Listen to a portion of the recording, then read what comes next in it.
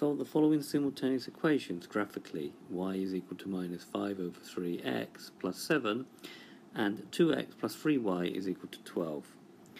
So y is equal to minus 5 over x plus 7 is best drawn by draw using y is equal to mx plus c. c is the y-intercept and therefore c is equal to 7.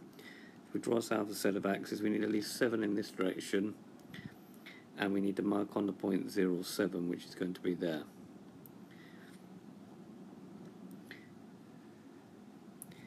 The gradient is going to be m which is minus 5 over 3. What does that mean? That means for every 3 squares I go along I will go down 5.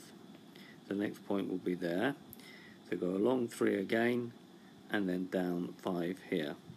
Take a ruler and join these up with a nice straight line and label at one end y is equal to minus 5 over 3x plus 7.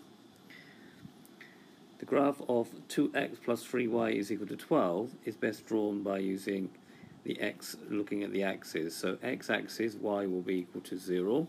So we've got 2x plus 3 times 0 is equal to 12 and therefore x will be 2x sorry will be equal to 12 this will be 0 and therefore x will be equal to 6 so it goes through the point 6 0 mark on the point 60 which is there for the y-axis x is equal to 0 so we're going to get 2 times 0 plus 3y is equal to 12 3y is equal to 12 y is equal to 4 that gives you the point 0 4 mark on the point 0 4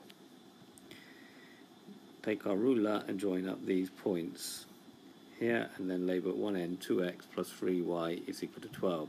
Now for the solution we need to look for the intercept which is there.